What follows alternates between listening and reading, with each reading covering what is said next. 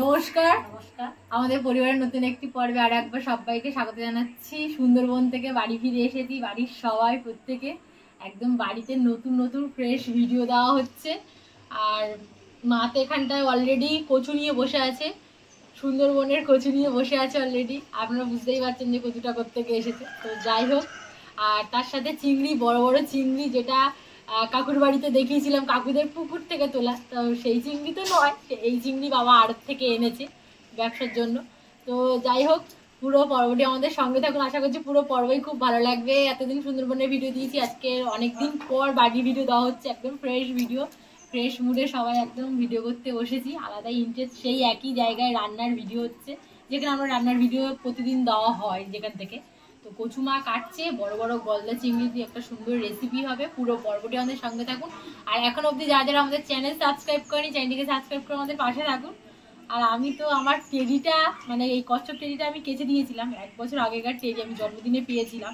তো ওর মধ্যে দিয়ে সব তুলো বের করে একটা জায়গায় রেখে দিয়েছিলাম। তো একটা তো কাজ করতে হবে, মা দিকে কচু কাটছে। তো আমি তুলোগুলো এর মধ্যে দেবো, দিয়ে আবার নতুন টেডি করে দেবো একদম কচ্ছপ তুলো দিয়ে যেমন ভর্তি ছিল।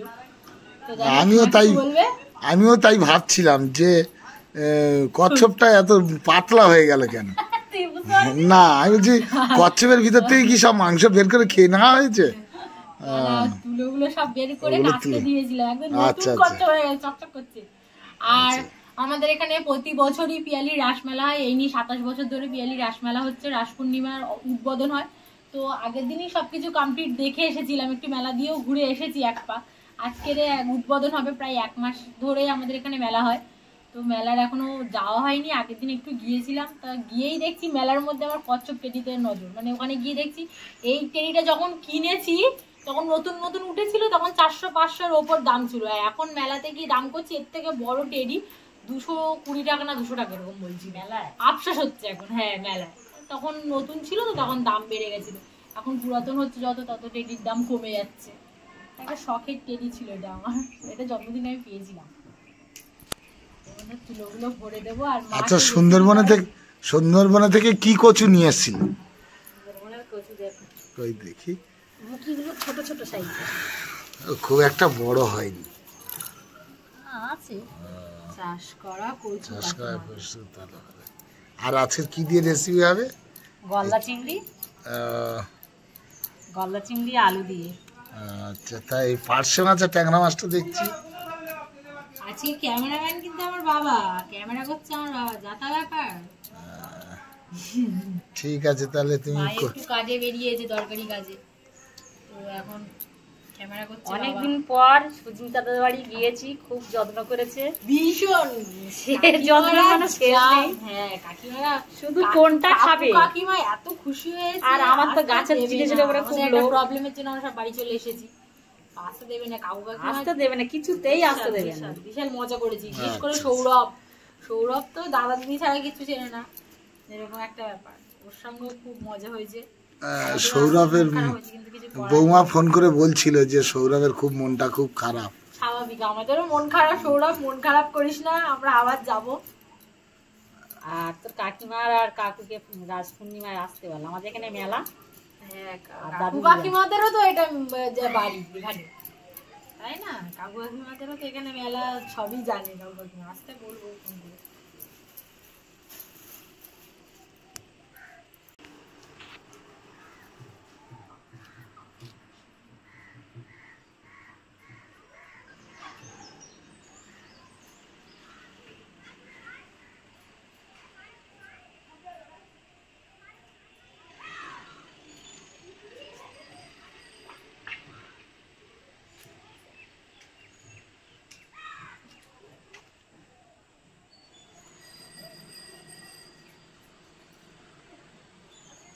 আলু কষানো হয়ে গেছে এখন দিয়ে দেবো জল।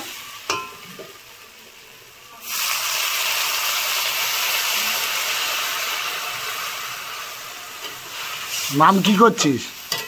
আমি এই কষ্টটা সেলাই করব। এই- তো পিছনে ফাঁকা এটা সেলাই না করলে সব তুলো বেরিয়ে যাবে। ও কচ্ছপের সার্জারি করবি? সার্জারি করব। সার্জারি কর। জল দেওয়া হয়ে গেছে এখন চাপা দিয়ে দেবো।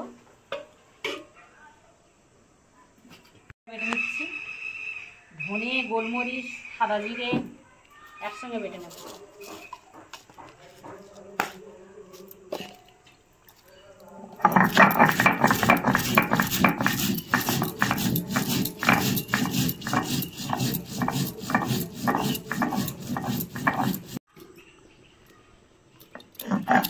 মশলা বাটা হয়ে গেছে এখন তুলে নেব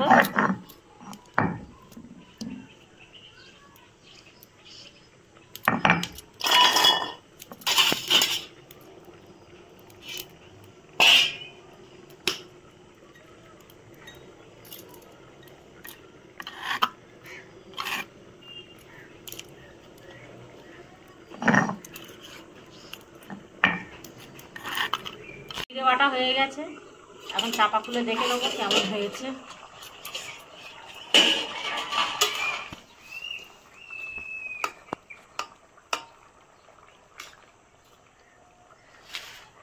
সুন্দরবনের কচুগুলো কথা একদম গুলে। হ্যাঁ। কচ্ছপের অপারেশন করে দিয়েছি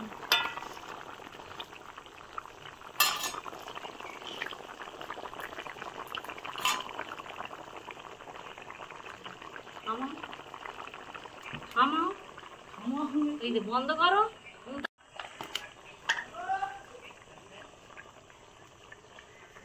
দিয়ে দিচ্ছি এক চামচ লঙ্কার গুঁড়ো। আর একটু লাগবে। তোমার যতটা লাগবে ততটা দাও। দিয়ে দিচ্ছি। ঠিক আছে। জিরে আর লঙ্কা গুঁড়ো দেওয়ার পরে আর নাড়বো না। আর একটু চাপা দিয়ে দিচ্ছি। কচ্ছপের সার্জারি আমার কমপ্লিট কিন্তু দেখা যাচ্ছে সেলাই করেছি। সেরকমভাবে সার্জারিটা করতে হয়েছে। আচ্ছা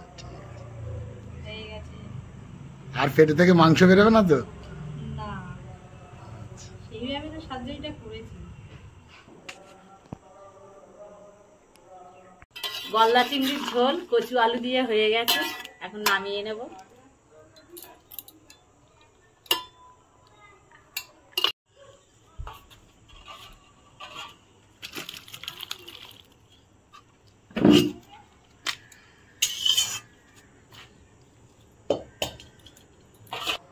ভাত বেড়ে বসে পড়েছি সবাই খেতেও বসে পড়েছে। আমার তরকারিটা কাটিয়ে দেবো। চিংড়ি, কচু আলুর তরকারি রেডি মানে বড় বড় গলদা চিংড়ি দিয়ে কচু দিয়ে যে রান্না করবে, সেটাই তো বুঝতে পারিনি।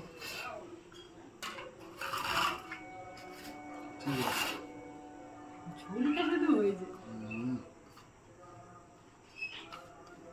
কি দেবো মা দেখে আর দাও আর কিছু লাগছে। দাঁড়া।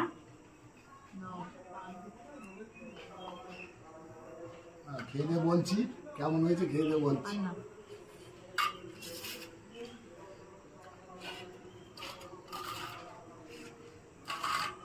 দাঁড়ার গায়ে কি এটা? খুব সুন্দর হয়েছে। তারপরে ঘষছিস কেন তুই? কি?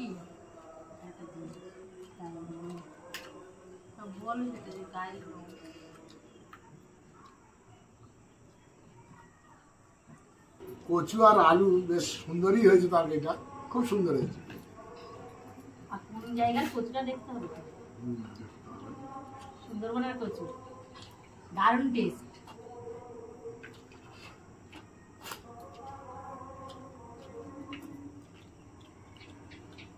বাবার খাওয়া হয়ে গিয়েছে আর আমার প্রায় খাওয়া শেষ। আর মারও খাওয়া শেষ। তো আজকের পর্বটা এই পর্যন্ত। পর্বটা কেমন লেগেছে অবশ্যই কমেন্ট করে জানাবেন। লাইক শেয়ার করতে ভুলবেন না। অনেকদিন পর সেই পুরাতন জায়গায় রান্নার ভিডিও দেওয়া হয়েছে।